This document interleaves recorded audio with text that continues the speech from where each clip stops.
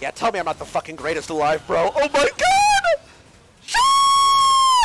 What are you doing?